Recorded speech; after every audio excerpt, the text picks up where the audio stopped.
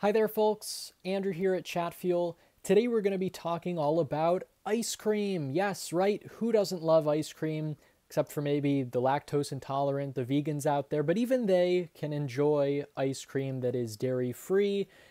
We'll also be talking, of course, in this tutorial about something a little less fun but equally important, which are bump it a bum QR codes. So the intersection here between ice cream and QR codes is quite simple. It's super useful if you are a brick and mortar business person or if you're also selling online out of your brick and mortar store. Basically, what we're talking about here is how you can convert visitors, people walking through your store in person, into messenger subscribers and ultimately convert them online as well, as mentioned if you run an e commerce store. So let's paint a more concrete scenario in all of your heads as how this could be useful. Let's say you have a customer walking into your store, your ice cream store, you have all these freezers with different types of ice cream. They go over, this customer loves cookie dough ice cream, like myself, who doesn't love it. They go to pick up a pint of this ice cream, as you can see on your screen in front of you, and on the lid of that pint of cookie dough ice cream, it has a QR code.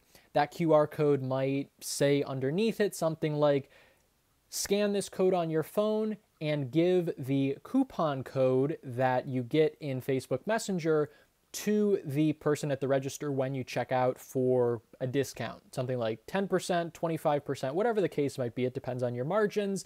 But at the end of the day, you have this QR code with the incentive of, hey, scan this for a discount, give it to the cashier, the customer wins, and obviously the incentive, the benefit for you as the business owner, as the chatbot builder here, is you're capturing these customers on Messenger as well. It's not just email that you have them on, it's Messenger as well. You're getting higher open rates, higher click through rates, better engagement all around.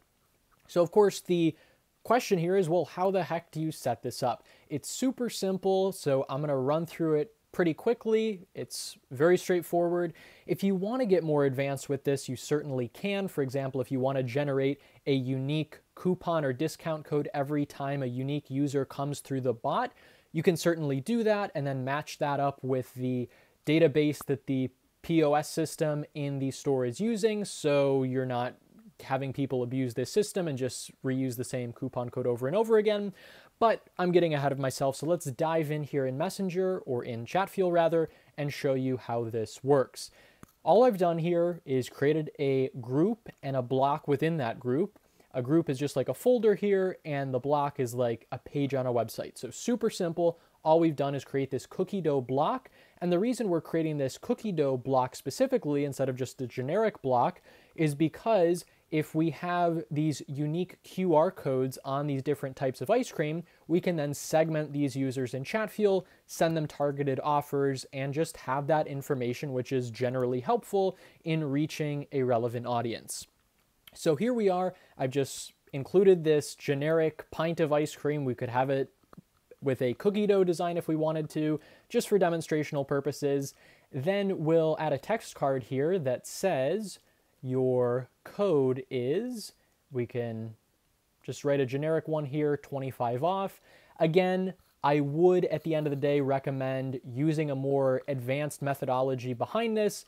Basically, include a JSON API plugin at the top that takes the user's first and last name or their messenger ID, because that's a unique identifier, sends it to a database. If there's not already an entry for that, generate a coupon code that syncs with the store's POS system, send that to them here in Messenger, and then if they try to come back again on this same profile to get another code, obviously in that API you have set up, you could redirect them elsewhere and prevent duplicate codes from being generated and again having people abuse this system. But if you're running a small shop like we're doing here in this example, don't worry about that, just go with the flow. So we have our text card here with the generic coupon code, which is awesome. And then the last thing we want to do here in the block in Chatfuel is, although not necessary, to create a set user attribute plugin. So we're going to click on that, and as you might have guessed, this will simply allow us to segment the user by whatever ice cream flavor they like. So we'll call this flavor, and type in cookie dough. Awesome. So this is the message the user will get after they scan that code on their phone, which is really simple and intuitive. They just open up the camera app, take a picture essentially of that code, and they'll be redirected to Messenger. So now what we need to do to actually generate this code, the QR code that is, is create a ref link here in Chatfuel using this link button. You'll only see this if your bot is connected to a page, so keep that in mind. We'll toggle this slider here, copy the URL, click done. Then we'll go over here into this website, the qrcodegenerator.com. I'll put a link to this in the description of the video. You certainly don't have to use this website. You can use any QR code generating tool that you choose. I'll then choose URL here from this list, paste in that ref link that we just created. If I want to, I can shorten it as well, but here we're just generating the QR code, so it doesn't really matter. And then here you go. Here's the QR code that is unique to that block. Obviously, you can create any number of these QR codes, one for each block, or if you just want to dump everybody into a generic QR code block, you can do that as well.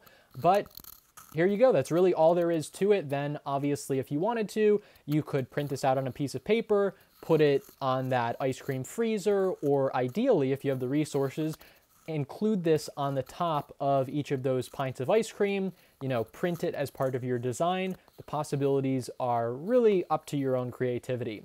So obviously if I wanted to, I could just right click this, save the image, put it into Photoshop, send it to whoever needs it to make this part of the store.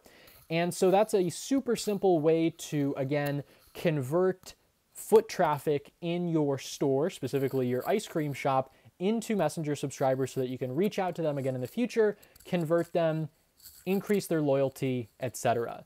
In closing here, I just want to walk you through what this will look like in Messenger if I go through. So I'll click Get Started, and bam, there we go. We get that coupon code. So that's it for me. Let me know in the comments below how you plan on using this information, how you can apply it to your own e-commerce or brick and mortar business. Otherwise, see you in the next video and happy botting.